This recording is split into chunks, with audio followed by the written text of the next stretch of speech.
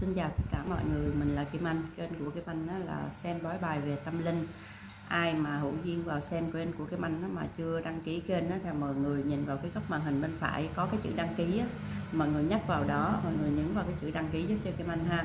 Và sau khi đăng ký thì nó sẽ hiện lên cái chuông đó mọi người, mọi người nhấp tiếp vào cái chuông đó luôn thì nó sẽ à, thông báo cho mọi người khi Kim Anh có clip mới hoặc là Kim Anh lên like á thì mọi người có thể vào xem ha đồng thời như cũng ờ, mong mọi người chia sẻ cho Kim Anh một lượt luôn để kênh của Kim Anh càng ngày càng phát triển, được nhiều người biết tới hơn thì Kim Anh có thể giúp đỡ được nhiều người hơn nha mọi người nha. Nói về Kim Anh đó thì Kim Anh chuyên về bói bài, nhưng mà clip này thì Kim Anh lại tiếp tục chia sẻ về cái vân chỉ Tây.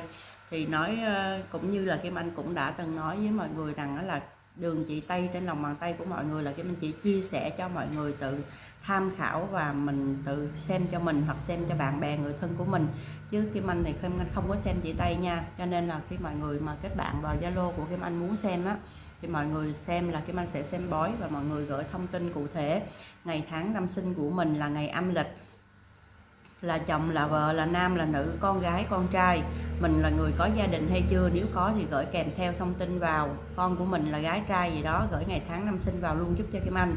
Thì Kim Anh sắp xếp xem cho mọi người trong vòng từ 3 ngày đổ lại thì Kim Anh sẽ xem hết cho mọi người không để cho mọi người chờ đợi lâu nha. Đó là thứ nhất. Còn hôm nay thì Kim Anh sẽ chia sẻ về cái đường vân chỉ tay. Thì như Kim Anh đã từng chia sẻ với mọi người trong cái lòng bàn tay của mình đó, thì nó có ba cái đường nét chính ba cái đường nét chính này thì nó thể hiện cho cái gì? Thì nói chung ba cái đường nét chính này nó thể hiện cho cái phần tâm tính của mình phần học vấn trình độ công việc làm ăn của mình. Và thứ ba nữa là con đường sức khỏe của mình định mệnh của mình là mình sống thọ hay không?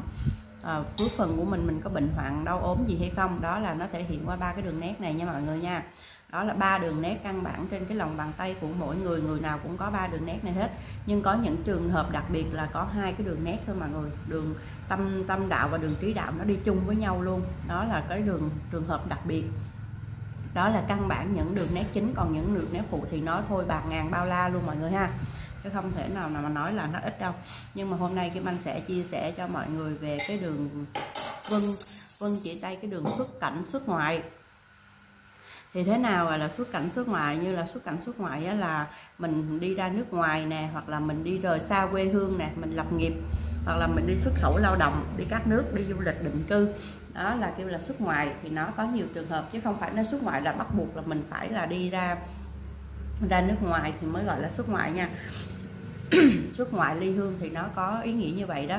Như là mình rời bỏ quê hương của mình xứ sở của mình mình đi nơi khác mình làm ăn cũng gọi là xuất ngoại là cái số ly hương nhưng mà tùy duyên của mình là mình ly hương xa hay gần đó.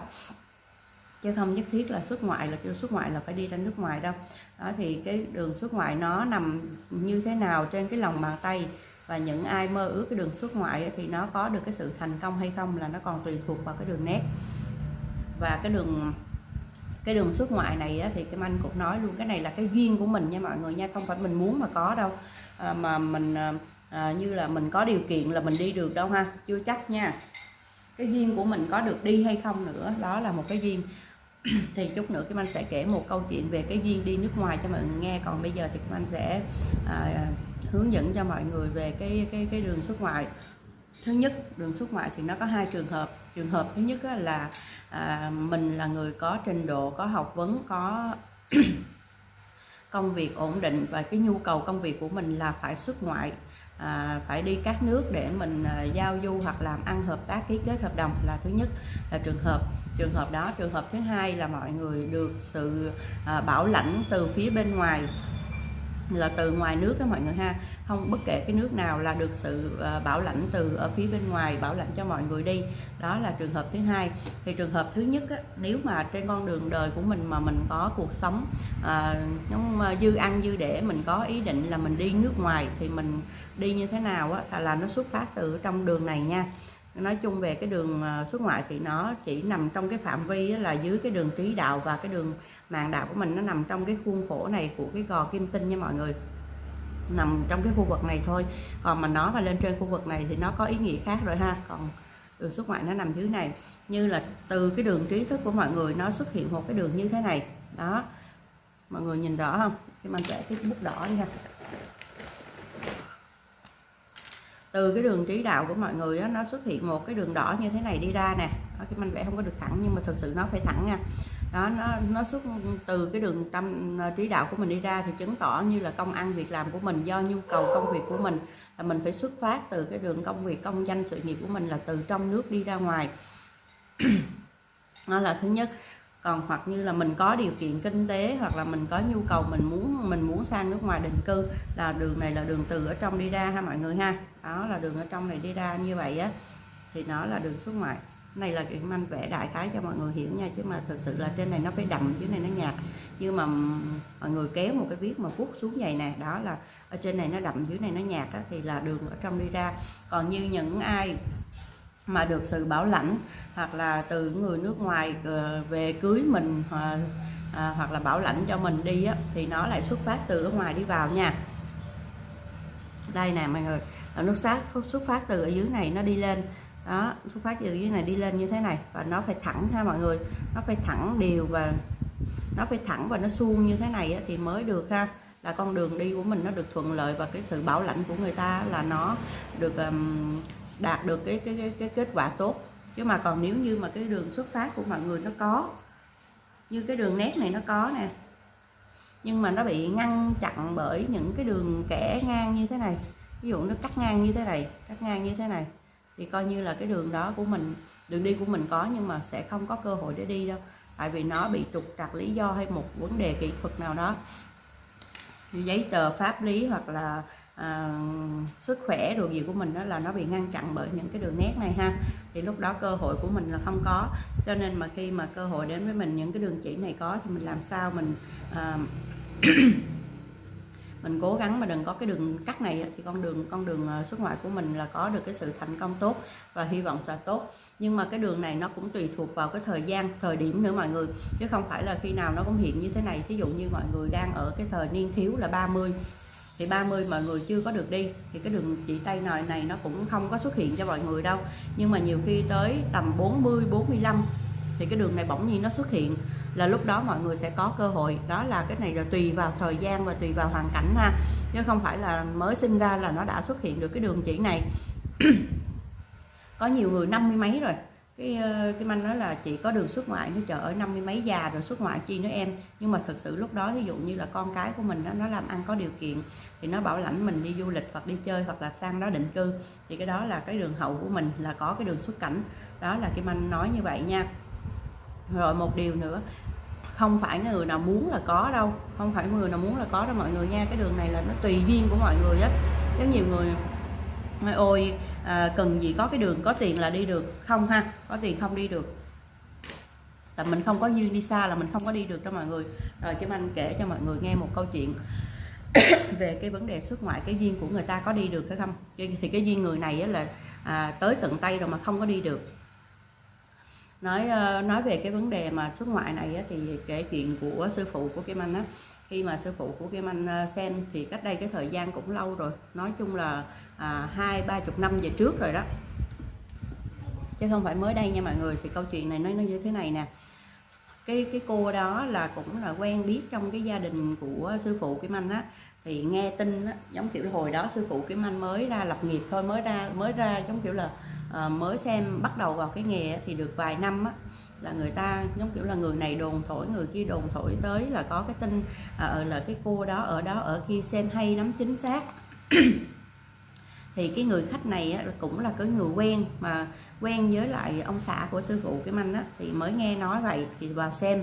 Vào xem á, thì mới đầu khởi ra thì à, cái người khách này người ta nói vậy nè cô nghe người ta nói người ta đồn con xem hay lắm thì hôm nay cô vào cô xem thử cô xem thử như nó nó như cái lời đồn của người ta hay không. Thì cái, sư phụ của Kim Anh chỉ cười thôi mọi người cười thôi chứ không biết nói sao. Thì người ta nói là người ta xem thử thì mình cứ xem thôi còn người ta thử hay không là chuyện của người ta đúng không? Cho nên là vẫn vẫn dở vẽ bài ra xem và vẫn xem bình thường một cách tự nhiên. Xong thì cái người khách này người ta mới đặt một câu hỏi là con xem giúp cô cô có cái đường xuất cảnh hay không? Cô có đi nước ngoài được hay không? Đó là bắt đầu là sư phụ ờ, của Kim Anh mới dở vẽ ra và nói là cô không có đường đi xuất cô không có đường xuất ngoại. À nói đơn giản là vậy đi ha. Cái là cái người người khách này người ta bực rồi mọi người. Người ta cảm thấy khó chịu. Tại vì đó là ước mơ hy vọng của người ta mà mình đi phán một câu như vậy thì người ta buồn và người ta cảm thấy là khó chịu không biết là có đúng sự thật hay không. Thì cái người này á, mới phán mới mới nói lại với sư phụ của cái manh này nè con nói làm sao? Chứ mà giờ cô cô nói thiệt với con á, là vé máy bay cô để trong túi. À 10 ngày nữa là cô bay mà con nói sao mà con nhìn cái vẻ mà cô con nói cô là không có cái đường bay. Thì uh, sư phụ Kim Anh mới nói là cái đó là chuyện của cô con không có biết nhưng mà theo cái vẽ bài của con là con thấy cô không có cái đường đi. À thì cái vị khách này bực mình đó mọi người là đứng dậy đi về đứng dậy đi về thì không nói không rằng gì hết á. Thì uh, sư phụ Kim Anh cũng đâu có nói gì đâu thì cứ cái vẽ bài của mình hiện sao thì nói như vậy thôi. Cái là cái vị khách này về về thì sau một thời gian cái vị khách này quay trở lại. À, cái vị khách kiểu cái vị khách mà xuất ngoại đó là quay trở lại quay trở lại bắt đầu tâm sự với sư phụ Kim Anh đó đó là hồi mà lúc trước cách đây 2 năm á, cô vào cô xem con á, là cô nó à, con con nói cô là không có cái đường xuất cảnh là lúc đó cô tức lắm mà cô cô cô khinh con lắm. Giống như là cô nghe người ta đồn thổi nói con á là được à, à, giống kiểu là ơn trên à, điển rồi xem rất là chính xác hay rồi vậy nhưng mà khi mà xem cho cô là cô khinh. Tại vì sao mà cô khinh? Tại vì khi mà cô hỏi con cái đường xuất cảnh của cô có hay không con nói là không. Mà trong khi đó là cái vé máy bay cô đã để trong túi mà cô để trong túi là 10 ngày nữa là cô bay rồi mà sao con dám khẳng định là không có cái đường bay? Cho nên là cô rất là khinh con. Nhưng mà khi về khi về nhà đó thì cô giờ cô mới tâm sự là khi mà cô vào xem con á, là nhà cửa đất cát nói chung là à, mọi phương tiện đó là bán dọn hết rồi dọn sạch sẽ hết rồi mọi người là gia đình chuẩn bị lên thành phố định cư là à, như là ở khách sạn trong 10 ngày đó là mình chuẩn bị tư thế là để mình bay thôi á mọi người ha. Thì cô này đi cái diện là chồng cô là hồi xưa làm cái cái cái gì ở bên nước ngoài đó mọi người thì được bảo lãnh được bảo lãnh cái dạng là đi theo ờ, được quyền lợi của chồng đó mình là vợ là con thì được đi theo. Thì đó đi ờ, đi lên thành phố đi lên thành phố là bắt đầu mướn khách sạn ở chờ cái ngày bay thôi mọi người. Ngoài, ngoài ra đâu có làm cái gì nữa thì giờ vé rồi là sẵn sàng hết rồi chờ giờ bay thôi thì sau uh, cái thời gian đó là cỡ ờ, trước trước giờ bay trước ngày bay hai ngày là chồng cô này gặp sự cố biến cố và qua đời. À cái người này mà trong khi á, cái sự bảo lãnh của cô được đi và con cái của cô được đi là nhờ vào cái ờ, cái cái sự đi nhờ vào cái người chồng. Giống như là mình nhờ vào cái người chồng đó mình mới được đi nhưng mà giờ người chồng đột tử chết mất rồi cho nên là bị bị cắt bị cắt cái phần đó và không có được đi. Đó. Thì mọi người thấy không? Sau hai ngày thôi. À, trước đó hai ngày thôi là cơ hội đã đến. Cho nên mà khi mà nói về cái vấn đề mà à, cái duyên mà đường xuất cảnh của mọi người là nó cái duyên đó mọi người nha. Chứ không phải là mọi người muốn là được đâu. Nhiều khi đó sát bên rồi đó mọi người thấy không? Nhưng mà không có được bay là không có được bay. Còn có nhiều người nói ôi tôi cả đời tôi đâu có mộng đi nước này nước kia làm gì? Nhưng mà thực tế khi mà cơ hội đến với mọi người rồi mọi người không muốn mọi người cũng phải đi nữa à, đó là nó vô cái tình thế rồi mọi người. Hình như là cái cái đó là là ơn trên nó sắp đặt như vậy rồi là tới cái đó mọi người nói ôi đi nước ngoài chi cho nó cực nó khổ hay là nó này nó kia tôi không có thích tôi thích ở Việt Nam. Nhưng mà tới cơ hội thí dụ như đời con của mình đi nó làm ăn được hoặc là nó định cư bên đó cái là bắt đầu nó bảo lãnh mình qua bên đó chơi du lịch hoặc là ở định cư bên đó luôn để nó nuôi dưỡng. Đó là là, là cơ hội của mình tới và cái đường đi của mình nó xuất hiện cho nên khi mà Kim Anh xem xem quẻ bài á, thì Kim Anh thường hay nói mọi người là có cái đường đi. À, có cái đường đi xuất cảnh. Nếu như mọi người có ước mơ hoặc có cơ hội thì từ tung vận về hậu vận mọi người sẽ có cái đường đi ha mọi người ha. Nhưng mà cơ hội à, đi lúc nào hay là à, được đi thời điểm nào thì nó phải nằm trong cái từng vẽ bài của từng mỗi người nữa. Đó là Kim Anh nói cụ thể nó như vậy. Còn cái trên chỉ tay á thì lúc nào nó hiện như vậy nó hiện như vậy nhưng mà đủ duyên đủ duyên lành của mọi người thì mọi người mới đi được, chứ không phải là nói nó nó hiện là mình có đường đi, hiện là có mình đi đâu ha. Mà nó đi được hay không là nó tùy vào cái thời điểm, thời gian của từng mỗi người nữa. Đó, thì Kim Anh cũng chia sẻ cho mọi người hiểu được cái vấn đề đường xuất ngoại là gì và cơ duyên của mình có được đi hay không là còn tùy thuộc vào cái phước phần của mình và cái đường duyên của mình. Đó là cái đường, đó là đường định sẵn ha. Nhưng mà nó đến với mình được sớm hay muộn, có hay không, đó là tùy vào duyên đó, thì hôm nay Kim Anh chia sẻ như vậy thôi mọi người nha. Còn clip sau thì hữu duyên Kim Anh sẽ chia sẻ tiếp những cái đường nét khác trên cái vân bàn tay của mình ha. Rồi, xin chào tạm biệt tất cả mọi người nha.